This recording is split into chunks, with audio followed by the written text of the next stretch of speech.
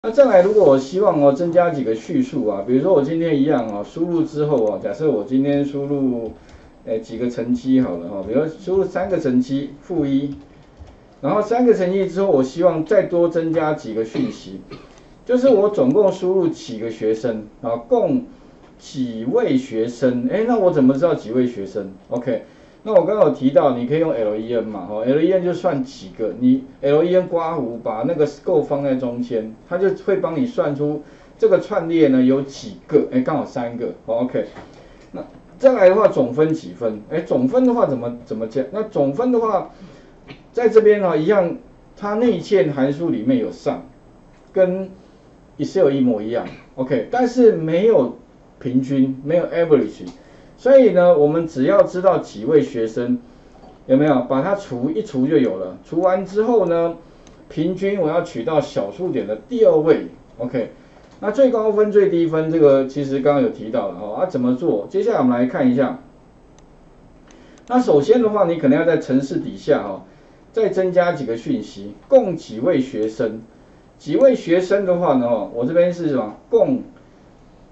加中间串一个，那当然我要需要什么？几位学生的话用 len 嘛，所以这边加一个 len，刮弧有没有？然后呢，你就把什么呢？把这个 scope 有没有放到这个 len 里面？这样的话呢，它得到的就是三，有没有？刚刚有三个嘛哈？那只是呢一样的道理啊，要转型，所以这很重要。有的时候，当然如果你不转型，有个方法啦，你不用加哈，你用逗点可不可以？嗯，可以啦，逗点就不用转型。OK，好啊，如果你要用加号的话啦，你要记得一定要转型，大概就这样了。OK，所以这个是一种习惯问题，ST 啊，有没有转转型？OK，好，所以哦，我们已经知道说几位学生，哈，应该没问题，哈，加在这里。然后呢，再来总分的话，就是把 sum 里面呢加上 score 就可以了。所以前面呢丢给一个变数叫 total。OK，好，所以哦，把总分算出来，放在 total 里面。那平均的话呢，我再增加一个变数叫 AV 区，等于 total 有没有？除以什么呢？除以就是上面这个一样，有没有？除以 len 的结，啊记得不能转型哦，你不要把那个转型完之后的结果放，那就错了啊，因为这边一定要是数字，OK 哈。那平均的话呢，可能会小数点很多位数，所以如果要取到小数点的第二位的话，当然了，我们这个地方哈。诶，可以用那个 format，好像前面我们这个地方呢，几分的话，如果我假设不用 format 的话，我用串接，有没有？然后这边的话变成这样子，然后串一个几分，然后总分的话变成你要把 total 放进来，放到这里，然后这边的话可能还要把它怎么样？把它转型，啊，比较麻烦了。所以如果为了方便哦，我们一样用那个 format，所以这边的话呢，我就用之前讲过那个 format，哦。总成绩，哎，总分放在这里，那我就用一个大刮弧来表示平均几分。那平均的话呢，如果我里面假设希望取到小数点第二位的话，哎，记得还记哈，没有冒号点二 f 了哈，这个是固定的规则，这个可能要稍微记一下哈。然后呢，点 format 的话呢，再把 total 跟 avg。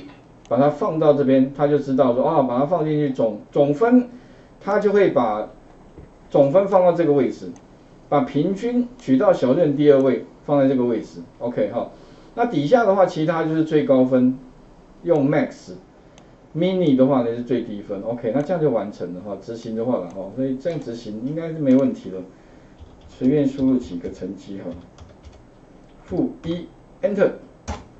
哦，所以三三个人成绩，总共三个，总分平均最高最低，这样就 OK 了。哦，好，那这个动作的话呢，实际上哦，大家在 Excel 里面做是非常轻松的，都看得到。但是在 Python 里面呢，全部都要写程式，OK，因为它没有视觉化的那个画面，所以变成说你要对资料处理哈，以后要应用的话，串列。非常非常的重要，因为如果你不会串列哈，哇，那其他我看应该资料是没办法储存的，然后没办法做运算，OK，所以未来哈这个串列非常非常重要哦，所以请各位试一下，就是在增加底下的这个叙述哈，那待会的话呢，我们除了串列之外哈，我还希望说呢，哎，假设输入成绩哈有点麻烦，你会发现说，哎，老师为什么每次都还要这样一个一个输入，有点浪费时间呢？那我可不可以将来，比如像有时候就是呃教务处哈，他已经把成绩帮你算完了，然后会输出一个档案给你，那那个档案里面的话，可能有全班的成绩。哦，那我只需要怎么样，把这个成绩哈从一个档案读到这边来，然后放进串列之后，再做计算，输出结果。OK，哎，那应该怎么做？所以待会的话哈，我们会做一个变化，那会教各位哈如何读取外部的档案。OK，所以待会可能会模拟先产生一个空的一个文字档，里面的话呢。就是放所有学生的成绩，然后呢，我们就把这个成绩再读到这里面来，把结果输出，就不用一个一个慢慢输入了。